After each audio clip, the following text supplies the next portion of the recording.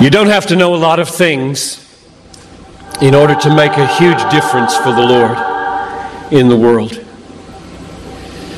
But you do need to know a few things that are great and be willing to live for them and die for them. Will I let Jesus prove to me that He's truly my strength? To let Him prove inside of me that through Him I can do all things. The True Strength Life podcast with Aaron Simpkins.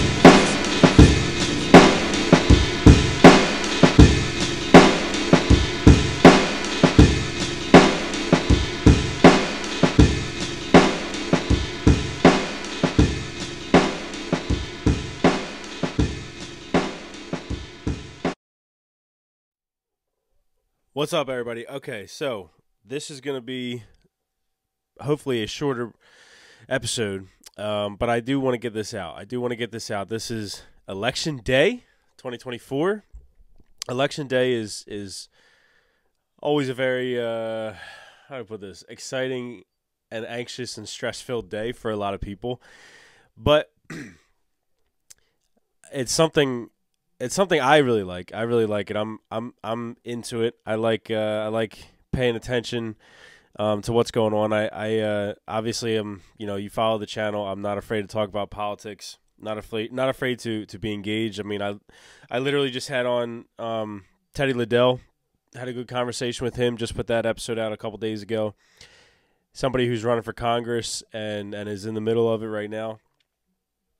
So no stranger to it. Um, I like to think about these things. Granted, I don't know everything about politics. I, I think it's one of those subjects where nobody could know everything. Nobody can know all the different angles and different dynamics that uh, that go into it. Um, we we we are never going to know the full background or inside story of every single person that's that's running for every single position. Um, yes, I do. I do. This is gonna little. This is hypocritical on my part.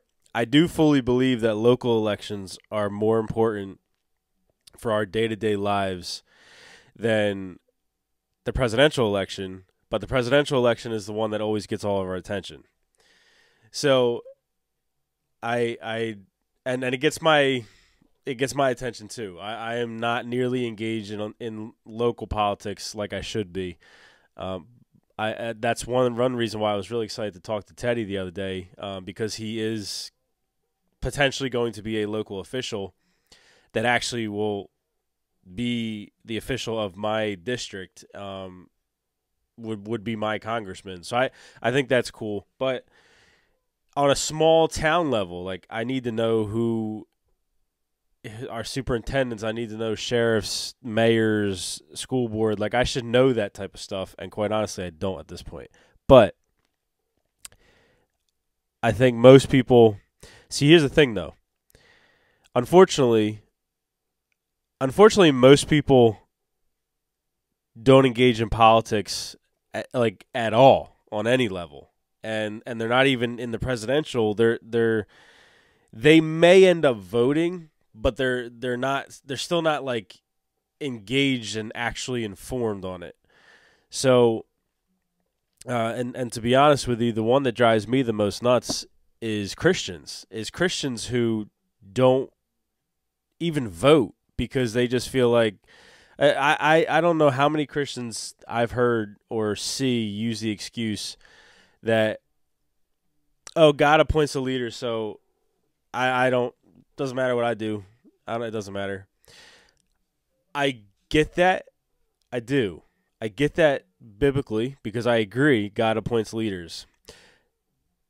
But there still is this this divine mystery that plays out where we do live in a constitutional republic that it, that elects democratically which means the people have a vote.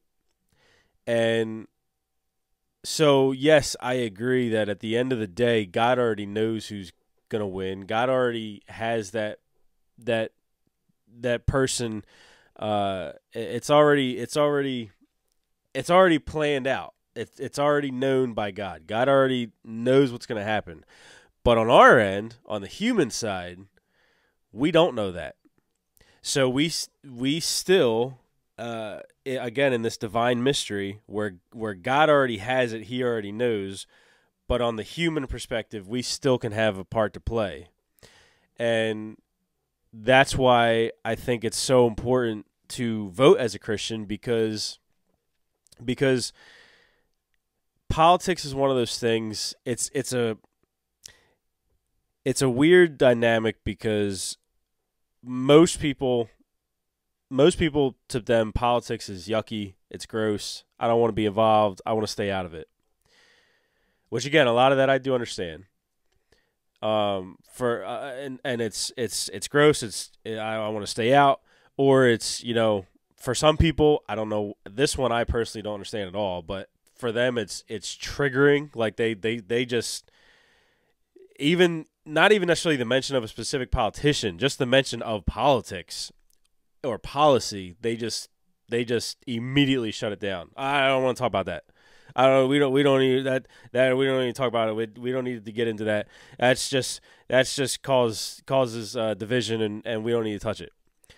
Uh, mm, no, you, uh, that's honestly something you need to get over, uh, and and we should be involved in politics. Now, here's my one, here's my number one reason why.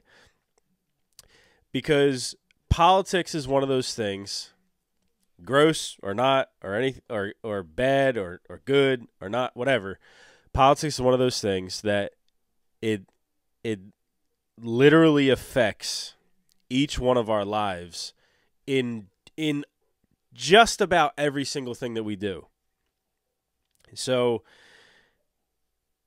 it it just does you know when you go buy something when you get gas when you buy a car when you buy a house when when you get a paycheck, how much money you can keep from that paycheck. Like almost uh, the food, the, the quality of the food that we eat that's on the shelves at the grocery store and the prices that are fa- every politics touches all of that, all of the aspects of our life. The the the Medi- Medicare, um, uh, the the yes, the the healthcare that we receive, um, the all of it. It it is all touched by politics. So if if something is that big, is that widespread, why would you as a Christian want to completely pull out of it and completely stray away from it and stay away from it and and not want any part of it? Because if you cuz as a Christian, you sh- you should want to as a part of our calling, you should want to be a, a positive impact in the in the culture and in the society and, and in the, the community that you're in. So if we can do something as little as just cast a vote, which is little but a big deal, but we can part we can partake in something as little as just casting a vote as a Christian. That is still participating in doing what's good for our neighbor, loving our neighbor, um, and and using the wisdom that God has given us to hopefully cast a vote for a a candidate that is going to do well for the community, for the people. And so yes, that would be my number one reason why we should participate is because politics touches everything. And if we want to be if we want to have an influence in this world, we should not be afraid to to partake and to know about politics, to know about what is happening, what is going on in the government. Um, like I said, we live in a democracy, uh, well, a, a, a republic that acts as a democracy in how we elect. Um, so again, there's that divine mystery of the fact that we can cast a vote, but God already knows because He appoints the leaders. Yes, but we can still cast a vote at the end of the day. So we should partake. We should want to do what is good for our neighbors. We should want to uh, vote for policies that implement good things for the society. So just a couple thoughts, and then I'm going to get out of here. That was my reason for why we should. And as a Christian, I don't think you have an excuse. I I think you need to participate in in voting. And those that was my main reason. Now, things to consider when you're voting. Uh it's not a love letter for someone you love everything about. You're you're see some people again this goes back to the stress this goes back to the to the uh, uh, this goes back to the the triggering part of of politics for some people where they just they just see two people that they can't stand and immediately fall back and want nothing to do with it. I think that's soft and should not be the way that you go about it. You should be able to to look past um look past some of the person. Now obviously if this person is is like just absolutely number one scumbag, verifiably evil person in the world, okay, probably shouldn't shouldn't vote for him. But the thing is, you are voting for the the person, but at the same time, you're voting more so for the policies that that person is pushing. So, so it's not a love letter for someone you love everything about. It's it's what are they going to push for when they're in office? As the as a Christian, you're voting for a president or you're voting for a governor or mayor or or senator or or congressman. You're not voting for a pastor. The pat the the guidelines for a pastor is clearly laid out in Scripture. We know that. Uh, we see that you know Titus, First Timothy. We see those things. That's not what this is.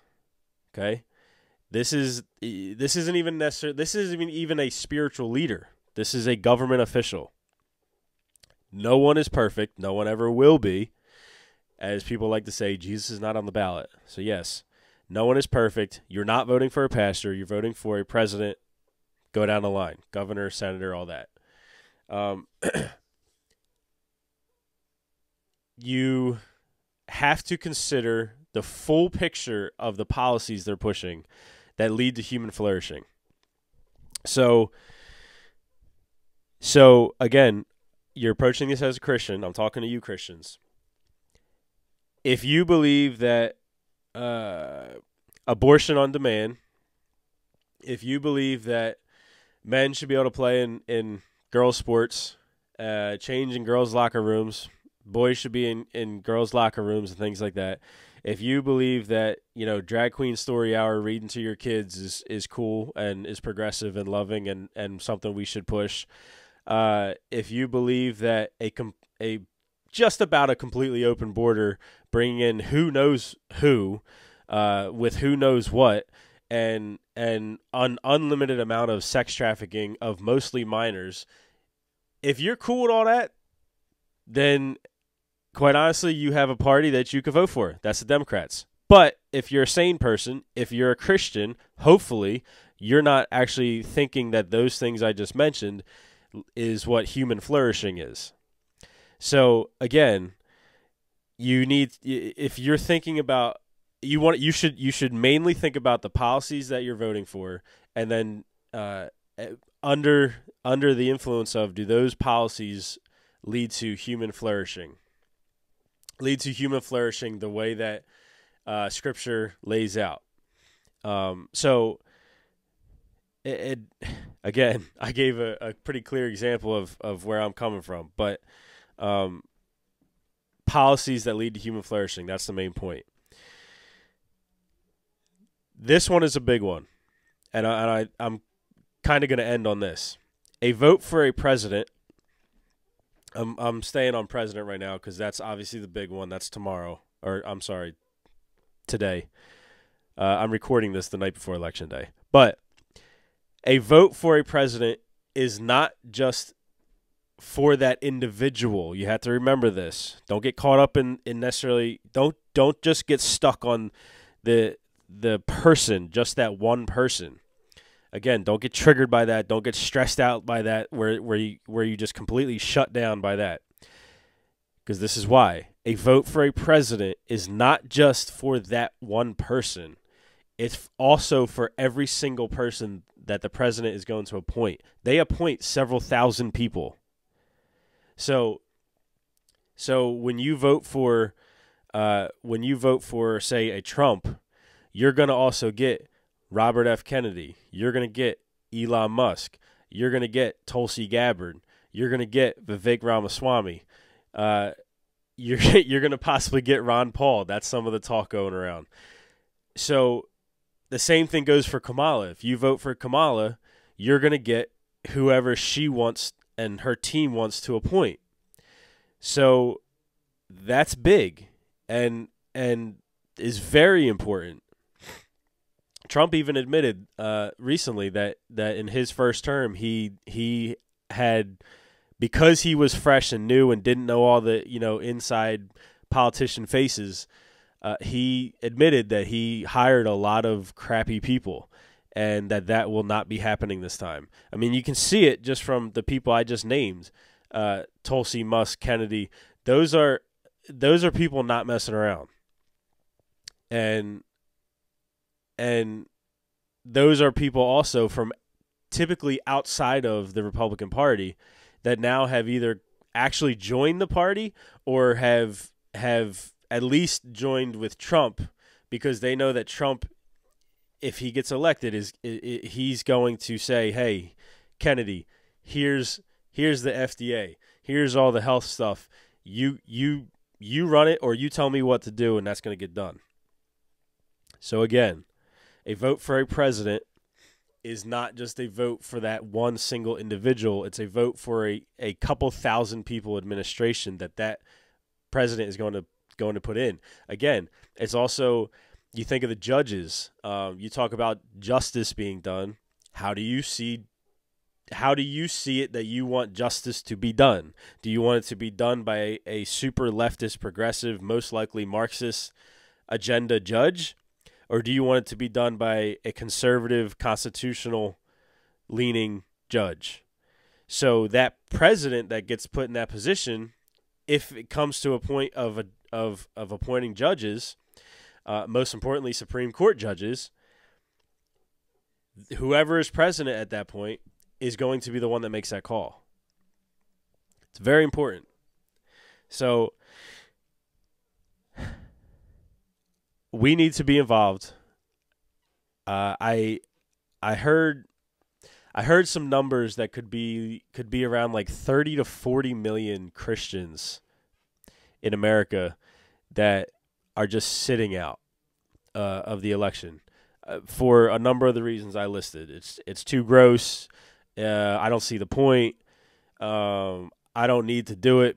This goes back to I don't see a point, but I don't need to do it because God, you know, God already is going to appoint. You know, has who He's going to appoint. It's it just it, it it's just something that we should be involved in because again it goes to that it goes to that divine mystery of yes god appoints but in the country in the time that we live somehow in that mystery we have a say in it. And so we should be wanting to be involved in that. And it's just very important uh, you you shouldn't you shouldn't be scared of it. You shouldn't uh, you know stray away from it. Uh, you should be willing to enter into these conversations. Don't be one of those people that that immediately like crouches down and gets scared of talking about politics and you know how dare we as Christians talk about that because all we should be talking about is Jesus. And yes, we should be talking about Jesus. That should be the main thing.